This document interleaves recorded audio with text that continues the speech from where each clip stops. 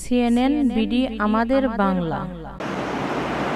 প্রিয় সাংবাদিক সাংবাদিক আসসালামু আলাইকুম। সম্মানিত সদস্য হরিনাথ উপজেলা আওয়ামী লীগের ফজলুর রহমান মিথ্যা মামলা মাথায় নিয়ে বর্তমানে মাঠ আন্দোলিয়া গ্রামে মাঠ আন্দোলিয়া সরকারি মাধ্যম উক্ত কাজের অংশ হিসাবে প্রকৌশলী অফিসে সম্পূর্ণ বিল না প্রদান করে আট লক্ষ টাকা বর্তন করে প্রকৌশলীর কাছে জানতেছেন কেন আমাকে সম্পূর্ণ বিল দেওয়া হবে?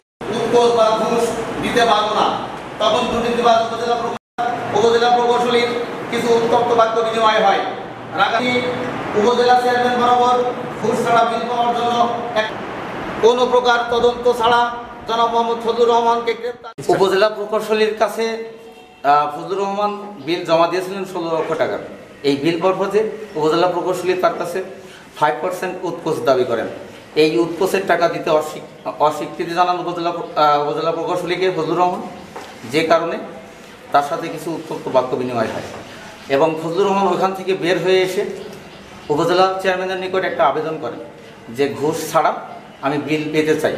উপজেলা চেয়ারম্যানের নিকট সেই আবেদনটি আছে, সেটাও আমরা এখানে সংযুক্তি দিয়েছি। আর ফজলুর রহমানের এই মিথ্যা মামলা প্রত্যাহার না হওয়া পর্যন্ত এবং তার মুক্তি না হওয়া পর্যন্ত আমরা হরিণাকুণ্ড উপজেলার চেয়ারম্যানবৃন্দ, উপজেলা পরিষদের সকল কার্যক্রম থেকে নিজেদেরকে বিরত রাখব বলে সিদ্ধান্ত গ্রহণ করেছি।